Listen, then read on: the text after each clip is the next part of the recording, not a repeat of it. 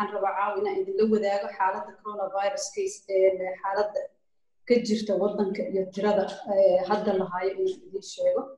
Tirada guud ee ilaa ay hadda lahaayo waa kow iyo labaatan qof. Hal qof wuxuu ku jiraa xalane. Shan qof waxay ku jirtaa isbitaalka martiini laba qof ayaa waxay u sii baahan tahay xanaano aada u gaara.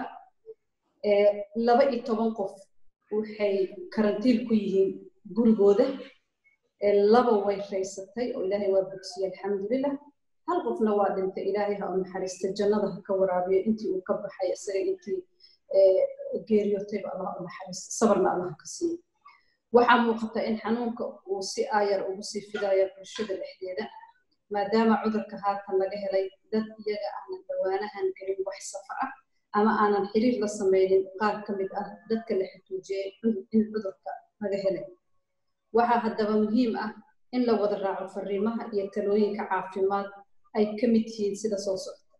In dadka guryahooda joogaan haddii aysan jirin wax ka dhifaya inay bannaanka u soo baxaan. In la kala fogaado oo dadka ilaa iyo laba mitir ay isku jiraan haddii ay bannaanka joogaan u soo dhacdaba inay soo baxaan. In la laasimo faradhaqashada saxda ah ayadoo la isticmaalaya biyo soconaya iyo saabuun ugu yaraan ilaa iyo labaatan ilbiriqsi. Salaanta gacan qaadidda in la joojiyo iyo in qofka loo haanyoodo oo laabta la geliyo marka la isa salaamayo waa in la joojiyo taas.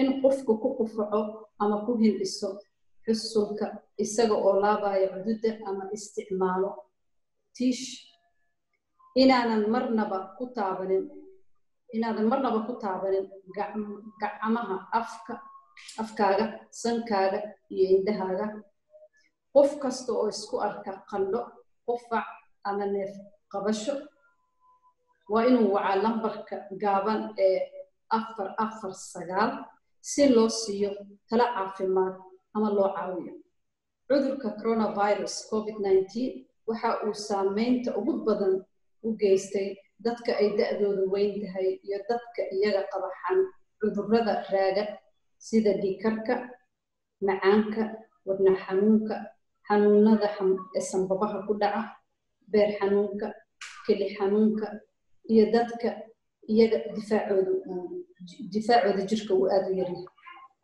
waxaa habboon dadka da-da ah iyo dadka xanuunada raaga qaba ee bulshada ka midka ah in si gaar ah loo xanaaneeyo oo booqashada laga yareeyo oo laga ilaaliyo inay la yeeshaan falgal ama isku sulawaasha dadka intiisa kale.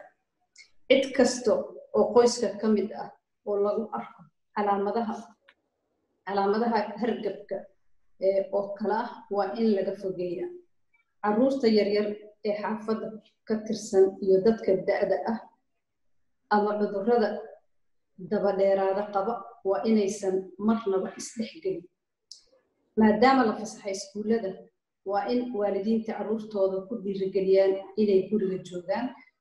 Waa inaan marnaba carruurta la ogolaan inay bannaanada wareegaan ama carruurta bannaanada kula ciyaaraan. Waalidiinta waa inay mas'uuliyad gaara iska saaraan sidii ay ciyaalkooda guryaha ay ugu hayn lahaayeen. Wasaaradda caafimaadka iyo bahda caafimaadka waxaa ka saaran mas'uuliyad mar walba in ay xoojiyaan wacyigelinta iyo talabsiinta bulshada soomaaliyeed. Waxaa habboon in si loo xakameeyo cudurka lagu dadaalo wax walba oo talooyin ay bixiyaan.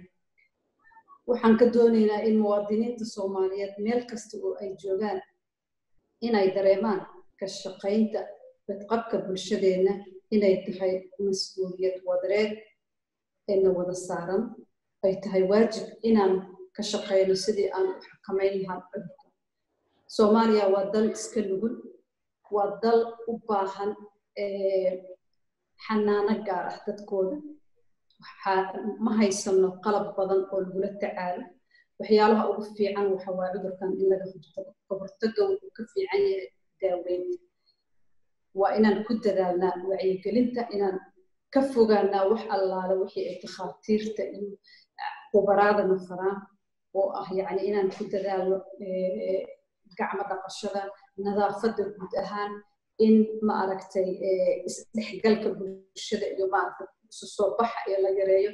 Ilaahay waxaan ka baryayaa inuu cudurkan dhibkiisa iyo iyo aafadiisa naga haayo. Waa isu soo ducaynaynaa insha allahu tacaala. Ilaahay waxa waaye ha عيسى والسلام عليكم ورحمة الله وبركاته.